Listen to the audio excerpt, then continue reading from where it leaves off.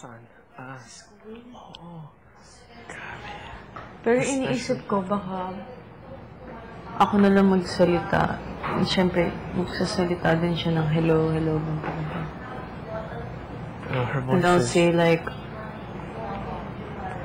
um, kailangan namin for school, for school din, na picture ng, For ng, ng mga classrooms and stuff.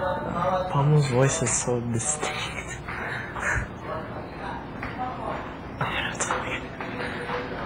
Ibahin mo nga boses mo. Hello po. Hello po. Magandang